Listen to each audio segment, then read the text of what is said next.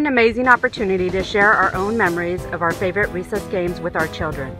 Here at Gillum Elementary, we have a great team of teachers and staff who not only share their own playground memories, but encourage our students to create their own or build new and safe playground at Gillum Elementary would allow for this to happen. This is why I believe our school deserves to win this grant now and for future generations to enjoy.